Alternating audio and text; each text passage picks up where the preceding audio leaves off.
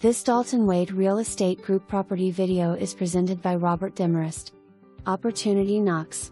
Here's your chance to own a great home with a great location at a fantastic price. This 2 bedroom slash 1 bath mid Pinellas home is about 10 minutes to the Gulf beaches, and convenient to all the area has to offer.